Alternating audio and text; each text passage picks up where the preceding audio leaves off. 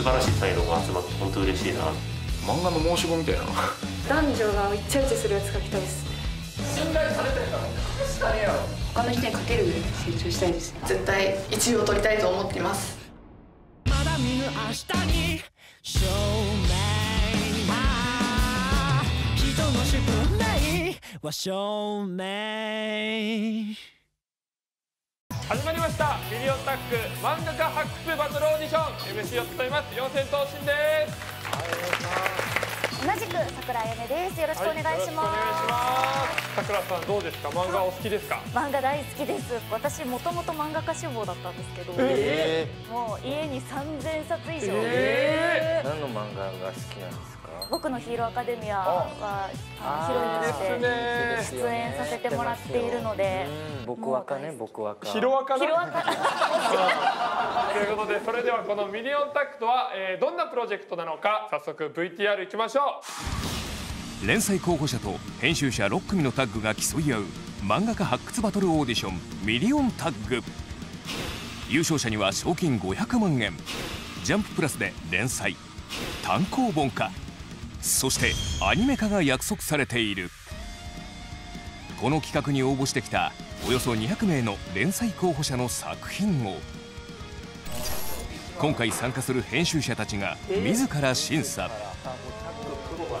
さらに面接を行い自分が組みたい連載候補者を指名。素晴らしい才能が集まって本当嬉しいなって思いますね。担当複数できるんだったら全員担当したいぐらいです。よ将来有望なダイヤの原石たち。彼らを生かすも殺すもタッグを組む編集者次第。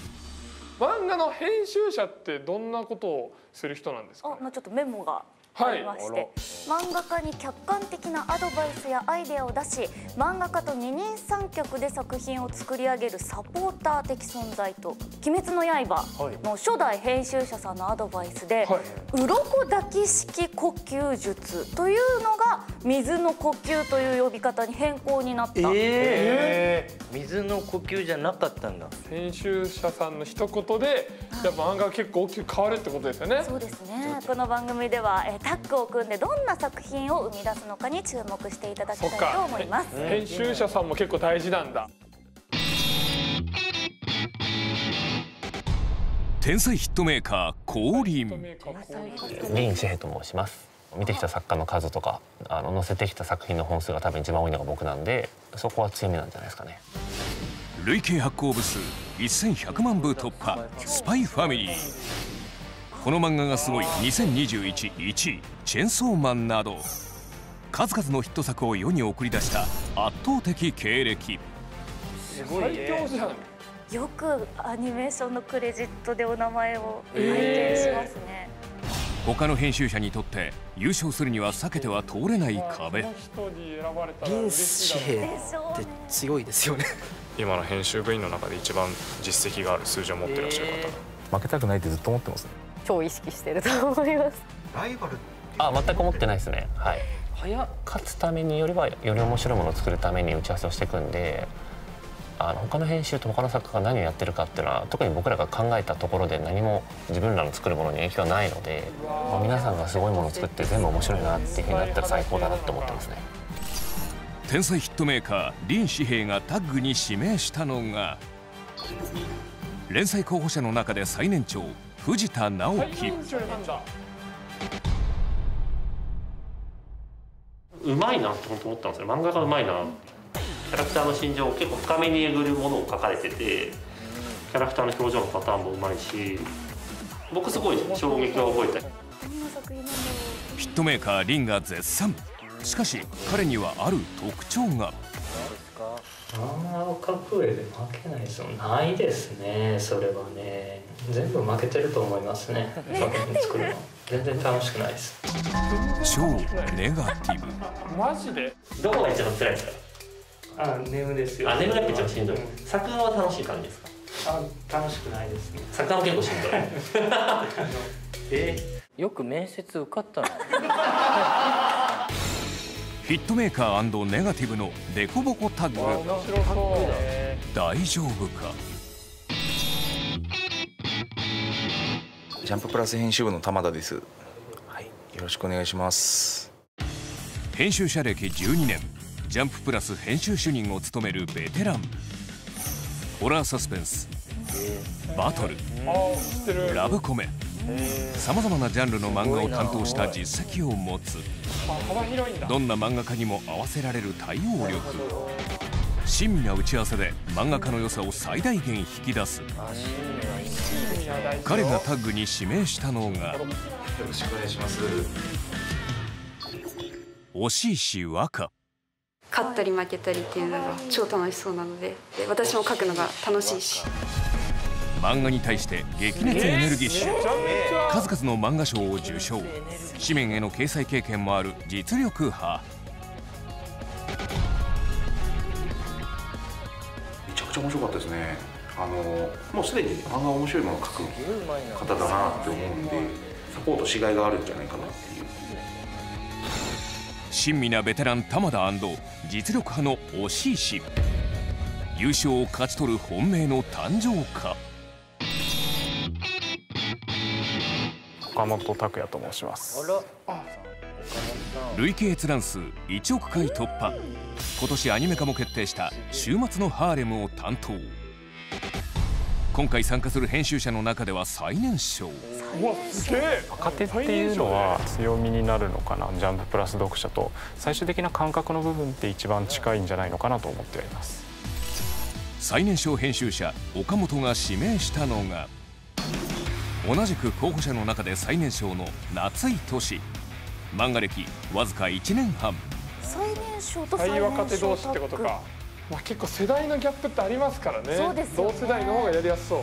他で担当ついてるとかってないですねっていうことはネームやり取りしたりして漫画作るっていうのも。初めてです。ああなるほど。友達とかにも見せたことないので、はい、漫画歴の浅い彼を岡本はなぜ指名したのかカメラがめっちゃうまいなって思ってもう一人の自分に会って撃ち殺しちゃうところあるじゃないですか、はい、あこの逃走するところが顔とか映してるんじゃなくて足元映してて一番動揺が出るパーツでありこう一瞬後ろにへたり込んでバタバタ立ち上がって走り去るみたいな。そういう細かいとこ見てんだ。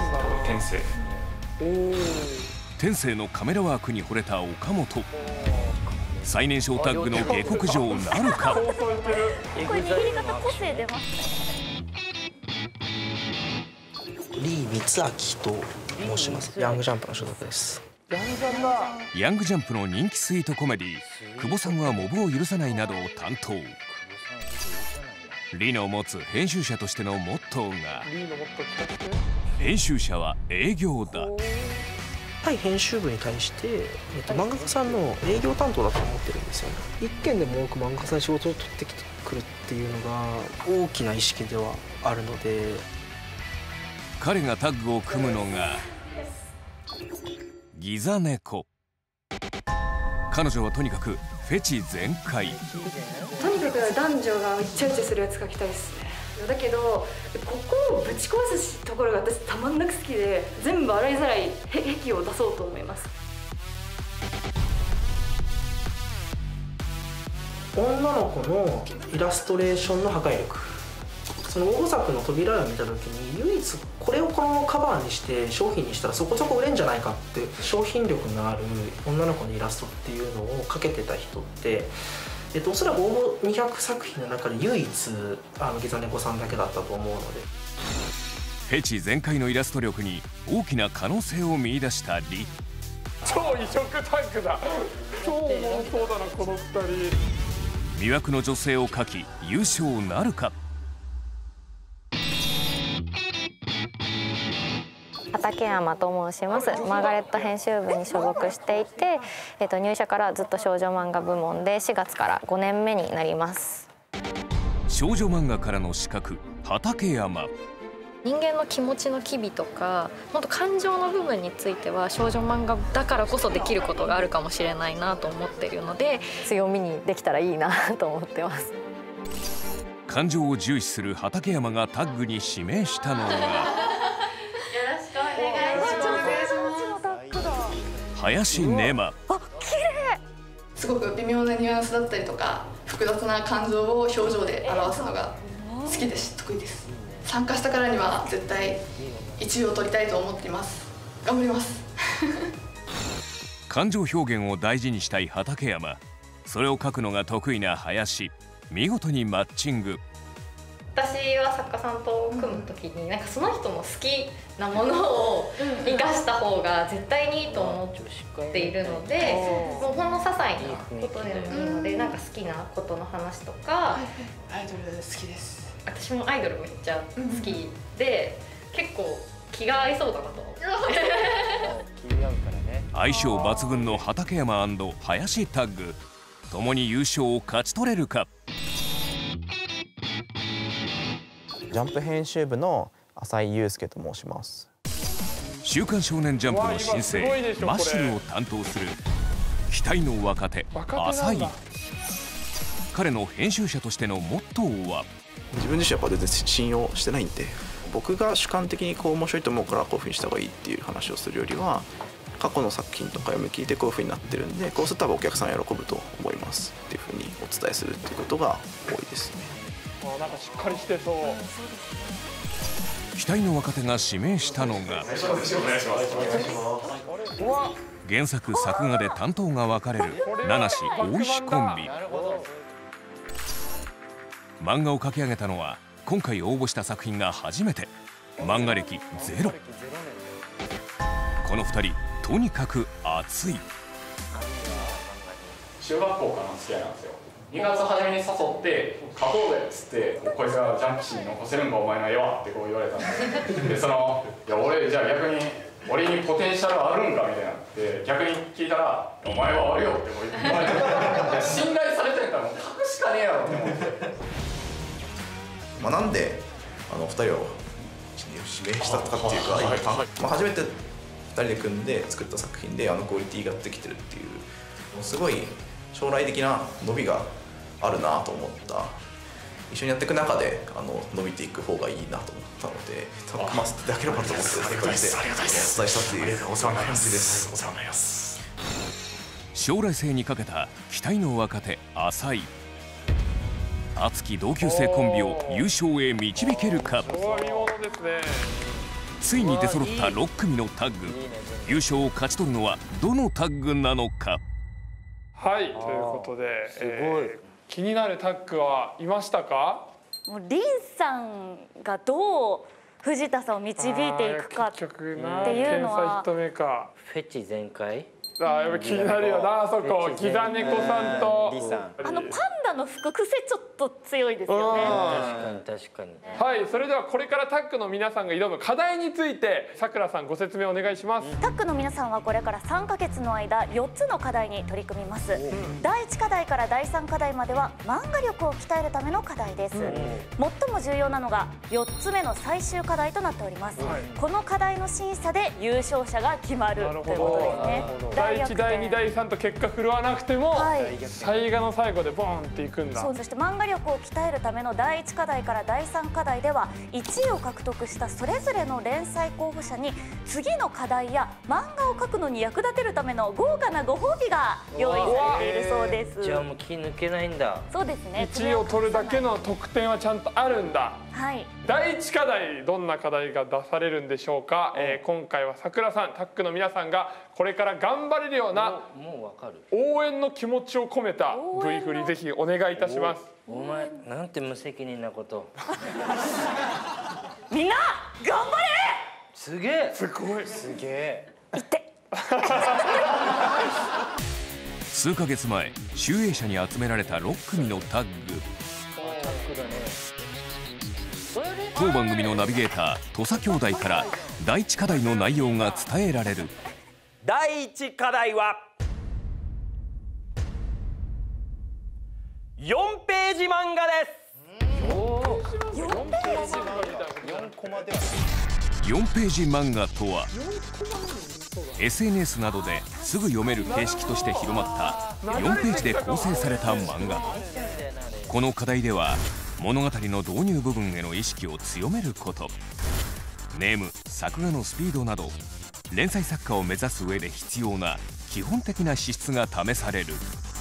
えー締め切りなんですけれども現時刻から4日後でございます。4日後？現これがだから短いのか長いのかっていうとこれはどうなんですかね？結構大変なんですかね？一応私のメモによると、はい。4ページのネームを作るのに大体1日？12回くらいこう打ち合わせをしまして1人で4ページの作画を仕上げるのに23日。で4日なので超ギリギリ。いつお酒飲んでんだろう 飲めないな。そして絶対に守らないといけないルールが一つ課題の締め切りを守ること。締め切りを守れなかった時点で即失格。この企画から退場となる。提出された作品はジャンププラス編集長細野副編集長籾山が審査。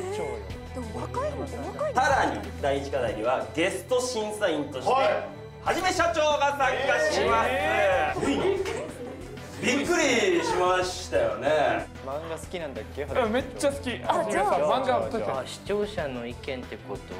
そうだね。さあ第一課題の内容を聞いてみて。じゃあ後半皆さんに聞きますか。大変そうですね。いや大変そうですか。第一課題なのにこんなにハード期間が短い。面白かったらいいのかな？みたいな。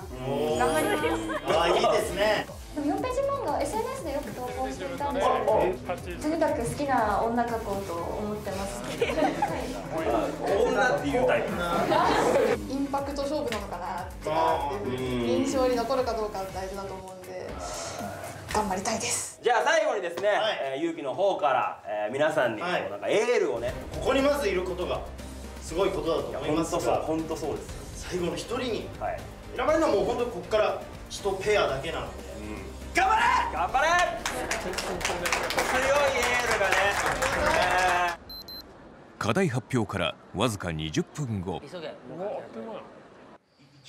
すでに動き出しているタッグが。すぐ打ち合わせだ。泣けるのを意識した漫画を作り泣ける方に行こうかじゃあ。どうせだったらジンがいたしますか？あいいですね。いいですね。ロボットでもいいから気がしてあいいね。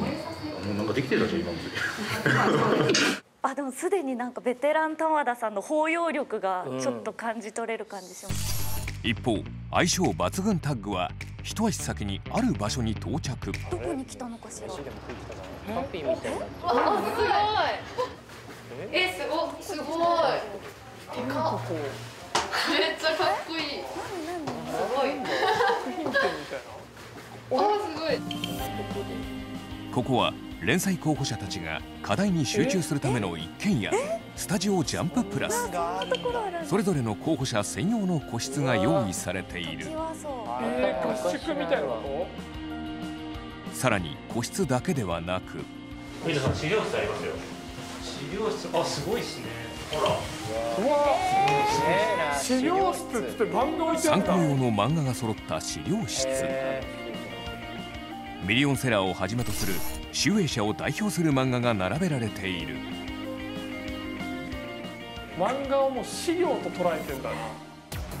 現在方向性が固まっているのは玉田推し石タッグのみ。他5タッグの作戦会議が始まる。まずは期待の若手浅井熱き同級生コンビ4ページは特に尺の制限がきついんでそう。ある程度やっぱちゃんとみんな評価したものを見てその何もしか何回ぐらいやり取りでだったらまあ入るかなっていうのを決めて見てなんとなくしてからやっぱパンパンパンでプロットを作っていくっていう順番にしていかないと確かに。まずはやっぱ調査っすね。そうですね。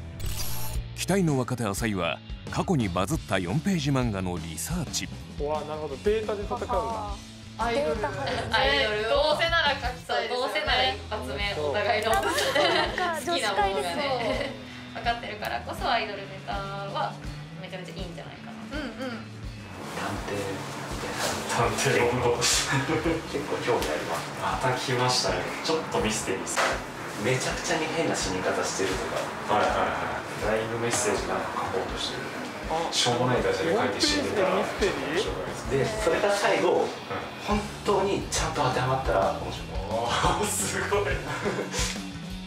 ヒットメーカーリンネガティブ藤田タッグには不穏な空気がなんか極まって重たい空気がですねないですね書きたいものはなんか全部真面目な話が多いですねなんで真面目なのはにあってもしょうがないですからね今真面目な話やりたいこと3個まで聞こうかああそれはまいです。ねできないんですけど。逆に最近受けてんなと思う漫画って何だと思う？鬼滅以外で。何やろうないやーちょっと全然昔とにかく難航中。一方リーフェチ全開ギザネコタッグは。すでに持っていた構想をリに提案。ちょっとだからこれだと少しオチが弱いかなとは思うんで、まあ、読者って基本的に大駒でしか物語を読んでない。コマ比率的に6番目のコマとかって覚えてないじゃないですか。覚えてないです。漫画読み終わった後に。覚えてないです。絶対大駒しか覚えてないじゃないですか、リのアドバイスのもと駒の構成をその場で一から考え直し。なんとなく4ページの構想は練れてきました、うん、